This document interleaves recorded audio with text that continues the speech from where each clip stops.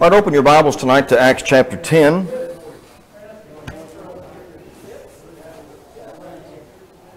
Acts, the 10th chapter, and we start in verse 1. We'll only do half the chapter this evening, down through verse uh, 23. And the Lord willing, we'll save the second half for this coming Lord's Day morning. All right, so you know where we're starting? And have I mixed it up or not? I don't know. We'll have to, we'll have to see. No, I'm straight up tonight. So, chapter 1, Ascension and Appointment. Chapter 2, Pentecost and Peter's preaching. Chapter 3, Lame Man and Lesson. Chapter 4, Restraint, Release, and Request. Chapter 5, Deception and Detention. Chapter uh, 6, 7, Selected. Chapter 7, Stephen Stoned. Chapter 8, a lot of S's in a row here. Samaria and salvation. Chapter 9, which we just covered. More S's. Saul saved and Dorcas delivered. And the chapter 10, which we begin tonight, is entitled Cornelius Converted, or the, the obedience of Cornelius, which we don't actually get to his obedience this evening, but that's what the chapter will focus on. I want to begin this evening sort of in a overview mode before we actually get to the text. So this is a this is a high above view before we actually get to the to the trees. I look at the forest a little bit. I, I think I want to make these points for a reason. To me, we have reached another biblical milestone in this chapter tonight, and I hope you'll see why I phrase it that way just here in a moment. So, just review wise, long ago, what did God promise Abraham in chapter 12 of Genesis? Verse 3. There, of course, there were the three promises but specifically, he said, And in thy seed shall who? All nations or all families of the earth be blessed. Well, that obviously includes who? Not just Jews, but Gentiles. So that was the original promise to bless all nations uh, through the coming seed. Turn your Bibles to 1 Peter chapter 1. Look at a verse there. 1 Peter chapter 1. And Peter, as he begins writing his first letter, he makes a point that I believe is germane to this discussion when he says at the end of verse 9, he's speaking about salvation, receiving the end of your faith, the salvation of your souls. Now, verse 10 Of this salvation, the prophets have inquired and searched diligently, who prophesied of the grace that would come to you, searching what or what manner of time the Spirit of Christ who was in them was indicating when he testified beforehand the sufferings of Christ and the glories that would follow. So even the prophets, during those hundreds of years, the, the centuries of the prophets, they continually pointed to this. What Peter just says, they didn't have all the information. They, they inquired. They wanted to know. But they were thinking about this coming time. Hadn't happened yet, but they were inquiring about it. Now turn to Ephesians chapter 2. Familiar passages to us. Ephesians, the second chapter. And that may seem like a lengthy reading, but I want to read 11 through 16, especially toward the end of that selected passage. Look what Paul says, Ephesians 2, starting in verse 11. Speaking, of course, Ephesus was comprised both of Jew and Gentile brethren. It was not a Jewish city. Ephesians 2:11 Therefore remember that you once Gentiles in the flesh who are called uncircumcision by what is called the circumcision made in the flesh by hands that at that time he's speaking to Gentiles you were without Christ, being aliens from the commonwealth of Israel and strangers from the covenants of promise, having no hope and without God in the world. But now in Christ Jesus, you, who once were far off, have been made near, or brought nigh by the blood of Christ. For he himself is our peace. Now careful, look at verse 14. Who has made both one, and has broken down the middle wall of division between us, having abolished in his flesh the enmity that is, the law of commandments contained in ordinances, so as to create in himself one new man from the two, thus making peace, that he might reconcile them both to God in one body. Speaking of the, the church, the kingdom, through the death of Christ. So you can see Jesus' own death, which we covered at the end of the last quarter, the, the life of Christ, part three. that certainly closed the gap, didn't it? I- At least in the mind of God, that brought the Gentiles near. It took away the commandments of ordinances, the law that kept Jew and Gentile separate. But what hasn't happened yet until tonight? That's right.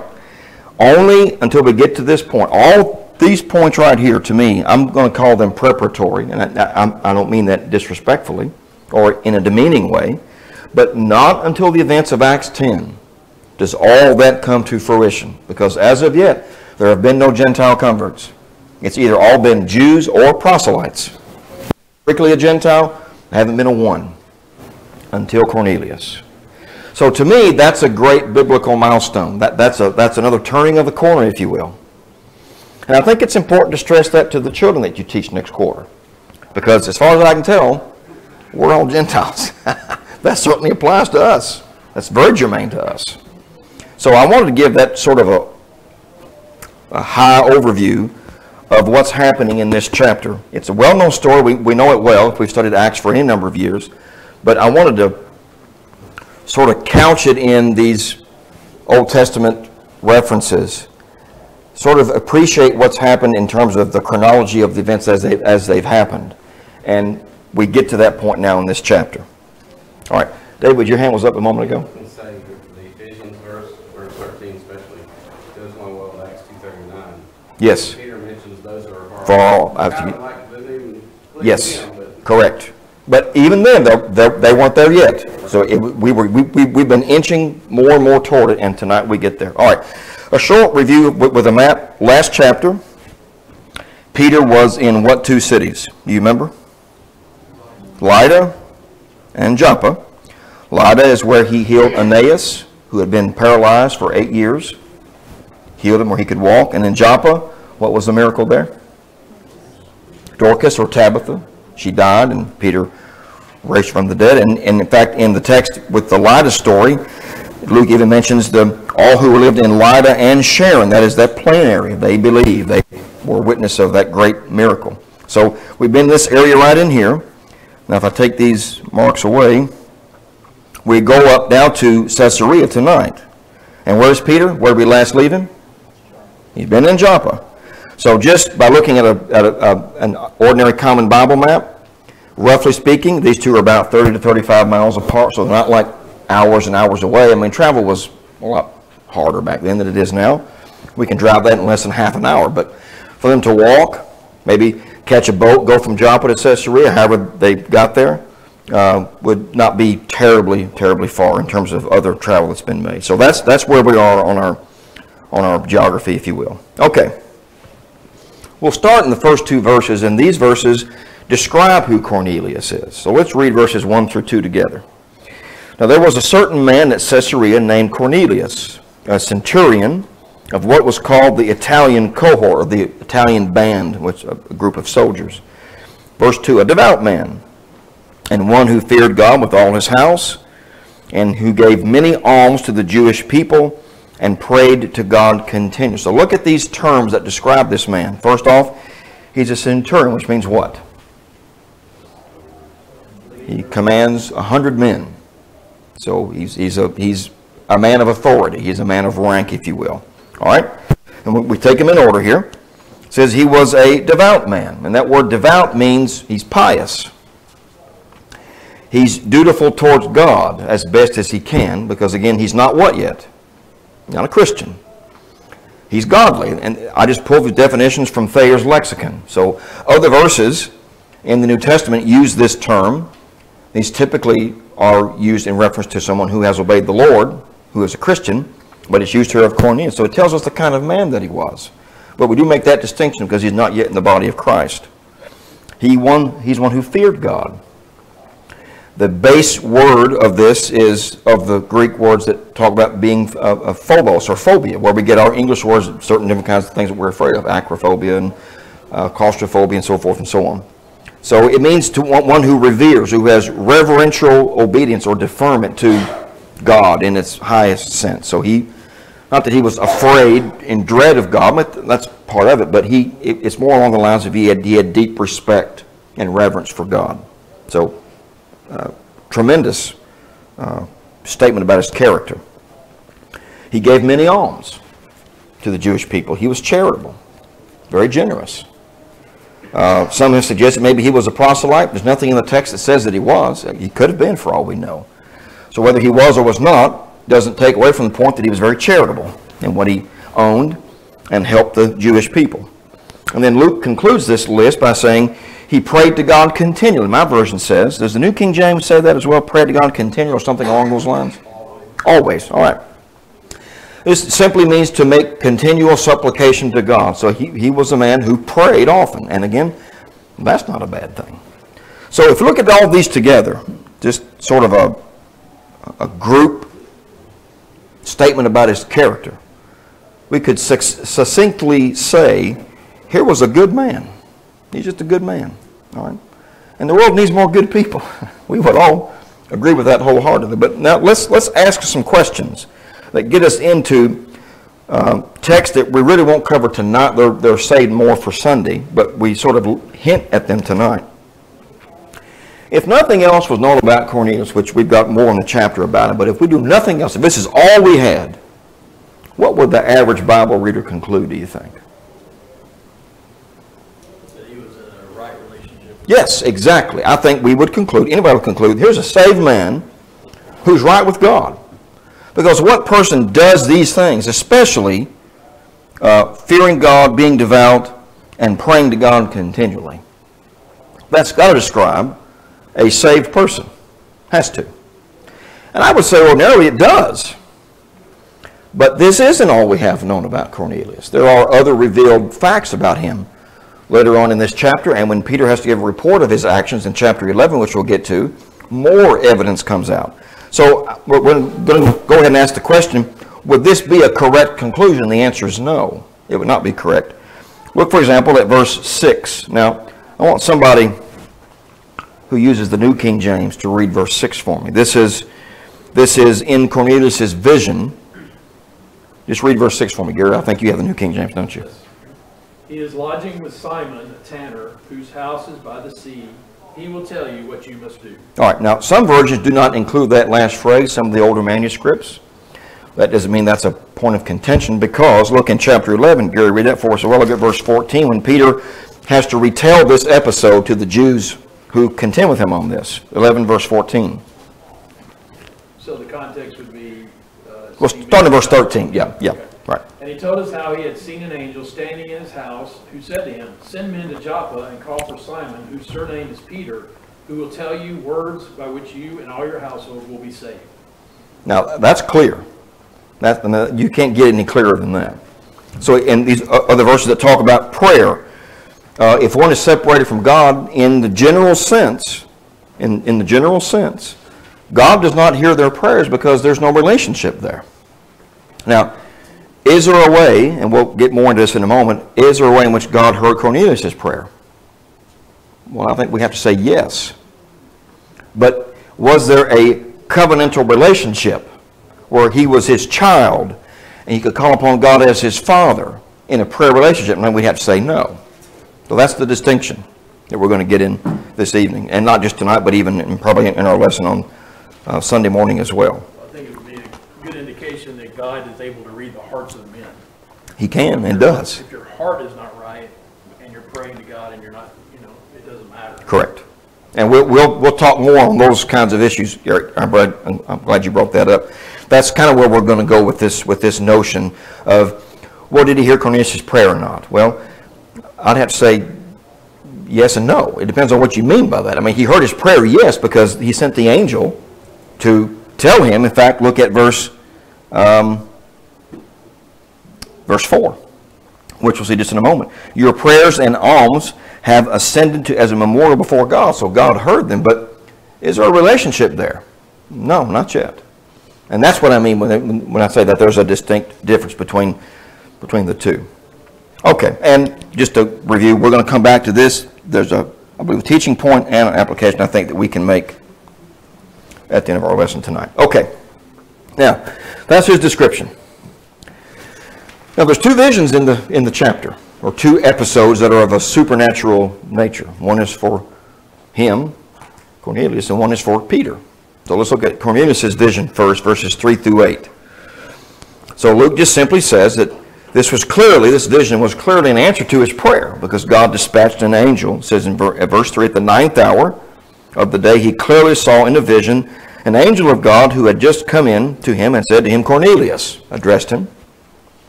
Fixing his gaze upon him and being much alarmed, he said, What is it, Lord? And he said to him, Your prayers and alms have ascended as a memorial before God. So an angel reassured him that God was aware of his prayers and his deeds, which God, as Gary pointed out, God knows the heart. He, he's omniscient. He knows everything. So this wasn't like uh, it was a, a, a surprise or shock to the Lord. God heard his prayers. But here's how he answered. He sent an angel to Cornelius with specific instructions, which we've already alluded to in reading the verse we did a few moments ago. He was given in- specific instructions. Look at verses 5 and 6. We read verse 5 and 6. Dispatch some men to Joppa and send for a man named Simon, who's also called Peter, which again links us back up to how chapter 9 concluded, where he was after he raised Dorcas. In verse 6, he's staying with a certain tanner named Simon, whose house is by the sea. And then other versions uh, add that last phrase, he will tell you words that you need to hear, uh, just paraphrasing. Now, I want to ask this question. These, these instructions that are, that are quite specific, why would he have been so instructed? Why would he need to hear words from someone else if he was right with the Lord? I would think that he would not have needed. So we can only conclude that he was not right. Again, verse 22, well, later on in tonight's lesson, um, they said uh, when, uh, he, when he sends messengers to Peter in Joppa, they say Cornelius, a centurion, a righteous and God-fearing man, well spoken of by the entire nation of the Jews, was divinely directed by a holy angel to send for you to come to his house and hear a message from you. He's got to go. He's got to hear a message from a spokesman of God, which in this case is an apostle, Peter. So we must conclude that he was not right, and that's why this is being played out the way that it is. How did he? How did he comply with this? Did he? Or do you get the idea of just reading this that he had to think on it for a while? I get the idea. Of, I'm going to I'm going to act on this immediately. I've been told to do this. I've been instructed to do this, and I'm not going to waste any time. When the angel who was speaking to him had departed, verse 7 reads, He summoned two of his servants and a devout soldier, so a group of three.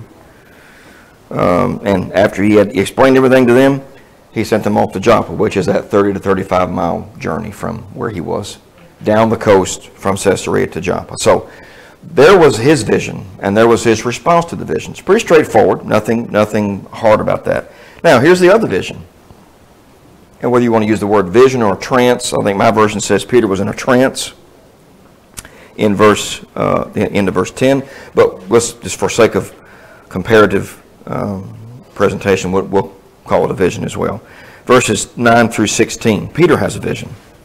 So the next day, as they were on their way, they've left Caesarea, coming down to Joppa. So as they are on their way and approaching the city, Peter went up on the housetop about the sixth hour, which is noon. And verse 10 says, He became hungry and was desiring to eat, but while they were making preparations, he fell into a trance or a vision. So, as Cornelius' messengers traveled to Joppa, Peter fell into a trance and after he became hungry while waiting for the noon meal to be prepared. And he had a vision. Now, quickly, what was his vision? I'm sorry? All right. A, a sheet like object, my, my version says a a certain object like a great sheet coming down, lowered by four corners to the ground. So it's just floating, floating down out of the sky, coming down to earth. And what's on this sheet?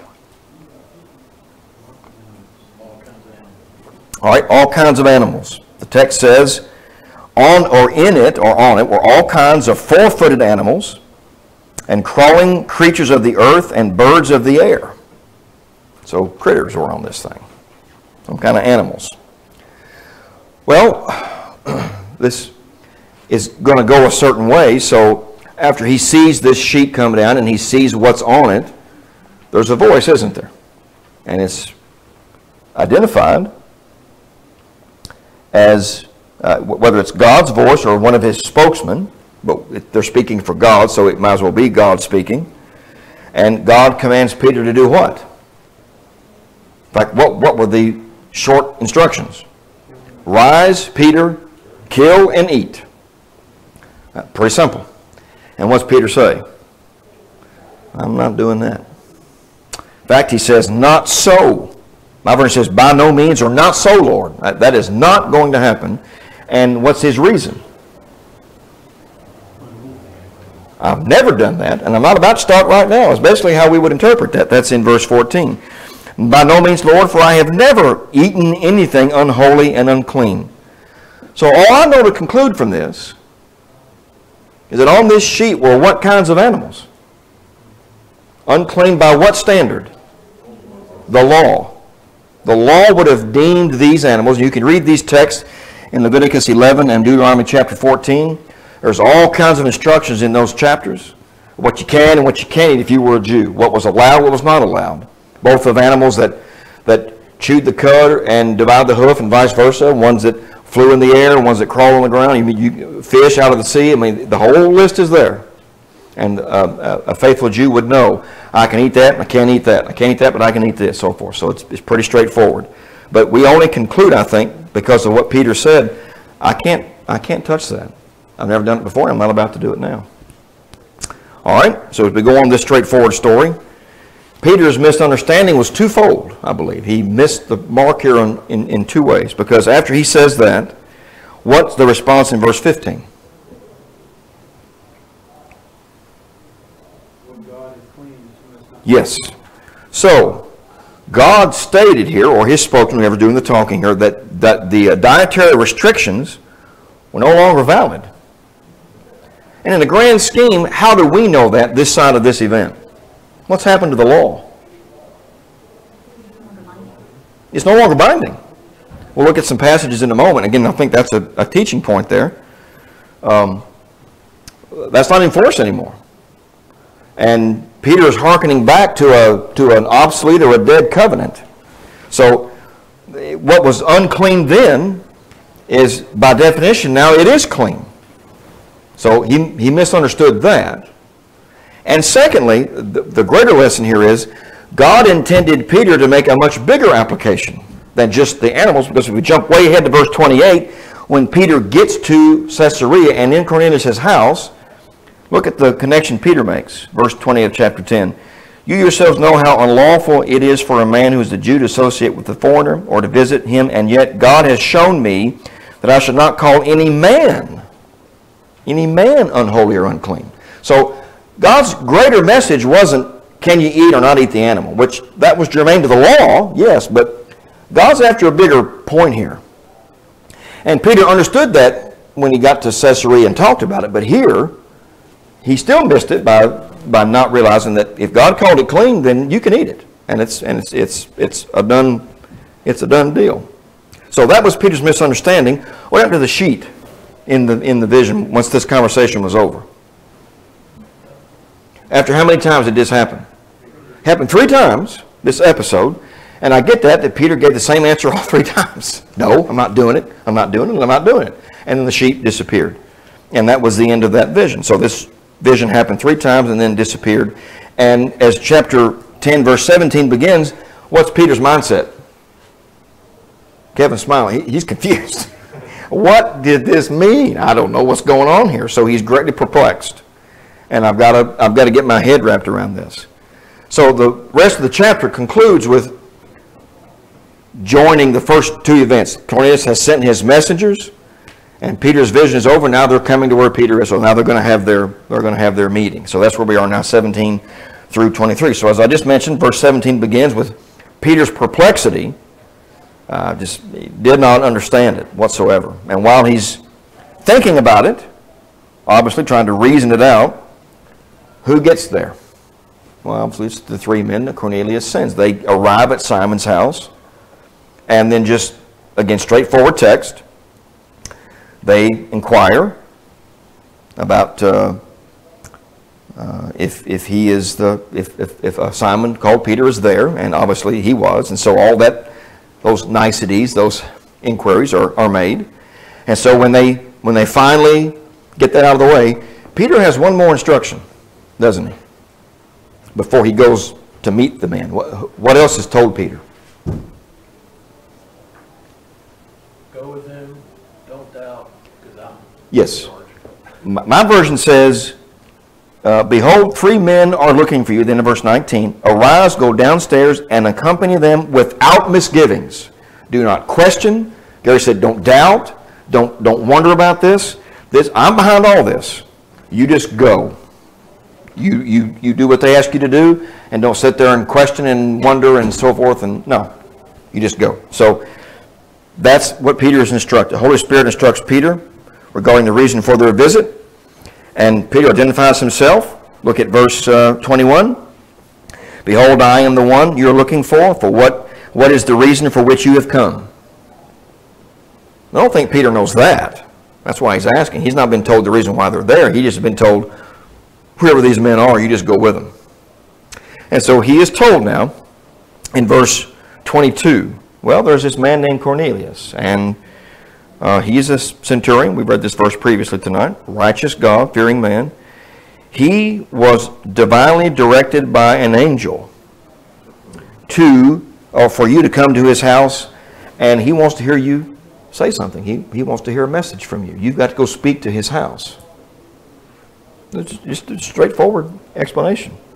And so this, this little meeting concludes by what action happens in verse 23. This, I mean, what anybody would do. Just be polite. Once you stay the night, we'll start out in the morning. We'll go tomorrow. So Peter invites them to spend the night, and then they depart for Caesarea. And also, who, who else is back on the trip besides Peter and the men who've come to get him? Who else goes? There are some men from Joppa who are brethren, members of the church there. we don't know how many, but they're going to go with Peter. Now, who asked them to go? Maybe it was their idea. Maybe they volunteered. Maybe Peter asked them to go. We don't know any of that, but they're on the trip as well. So there's just the first half of the chapter. Just pretty straightforward events. We get this description of this good man, and then uh, he has a vision, and Peter has a vision, and those two visions sort of get joined together when Cornelius' messengers get there, and Peter learns, well, I've got a mission. I've got to go and speak to this man in his house in Caesarea. And that's where we that's where the curriculum has us dividing the text. Uh, we'll talk about our applications and lessons just in a moment, but we'll cover the last half on Sunday. So anybody have a comment or question before we get to the Well, applications? just- It doesn't matter, but. uh, Well, it might. Well, over, over in uh, 11, uh, 12, we're told that six men went with them. Okay, thank you. There, there we go. So we do know how many. Six men. Thank you for that clarification. All right. Anybody else? Before we get to the teaching points. And again, go ahead. No, no, go ahead. not significant, that significant either, but it's probably providential knowing that he was about to kind of drop a bomb on everybody, that he- that they would have extra witnesses besides just Peter's word. Okay, that, that's a good point. This is, so, you know, This is an important event. And perhaps that's why they went. We, we don't know, but that would certainly help solidify by testimony what took place. later on, you know, we're told not to accept certain things, you know, unless by two or three witnesses. Okay. if it's significant- That- that- That may be a good point. And when you read verse 12 and 11, he's saying, well, the Spirit told me to go. And then the New King James says, moreover, these six brethren accompany me. So I think it is, I, I agree with that. Yes. I think that was God's providence in saying, hey, this isn't just Peter just talking off of his head. Correct. He's got these witnesses. Because he's being called to account for it by Jews in, in the 11th chapter, and, and they're there to back him up and say, yes, here, here's how it played out. We saw it. Most definitely, that's, that's how it occurs. So I, I think that's a very good observation. Appreciate that, Rachel. Okay. Now let's look at our, I got two teaching points and one application to look at as we end our class tonight. And they, of course, have to do with this very familiar story. And again, I think these are ones that can be made uh, in the children's classes. I think these can be explained, and they, they, they need to be able to see these, these overarching lessons. All right, the first teaching point, I believe, is that simply being a good person, that's just not enough for one's eternal salvation. Now, it's not that we're against being good, that's not it at all. But the, the majority of the thinking out there is what kind of person do you need to be to go to heaven? You need to be a good person. You know, don't cheat on your taxes and you coach the little league and you don't beat your wife or kick your dog or whatever the, you know, whatever the thing is. Just, just be a good person. Be a good neighbor. Be honest on the job at work and go to church, you know, at least once in a while. Those kinds of things. And uh, that's the prevailing thought out there. But I, I believe this story takes that out of the way and for, for these reasons. Who among us would doubt Cornelius' goodness? I mean, just if you just look at that description again, if that's all we had, which it is not, but if that's all we had, no one in their right mind would say, well, he was an average guy. I mean, he, he wasn't bad. No, he was a good man. A very good man. But there's a distinct difference between being good and being saved. Now, there just is. And I believe this story bears that out. Again, go back to chapter 10, verse 2. There's his description. And then a verse we've looked at three times already tonight, chapter 11 and verse 14, where as Peter retells the story, he was told to speak words to, uh, to you, Cornelius, by which you and your house will be saved. So he was not saved. He was, he was in an undone condition. So, yes, there is a difference between being good and being saved, but there is no difference between a good lost person and a bad lost person. Lost is lost. Saved is saved. And Cornelius cannot be held up as an example of, well, here's what you got to do, just be like Cornelius before he was baptized. No, that's, that's not going to cut it. And so the idea, the point is not to call into question someone's goodness. That's not our job anyway. That's not our position to say, well, good enough, uh, not good enough, so forth. That- That's not the point. The point is what? Here's, here's the point. Whether or not a person has complied with God's revealed terms in terms of salvation, that's the issue. Have you done, have I done what God has said to do to be saved? That's the issue. And had Cornelius done that yet? The answer is no, despite his goodness.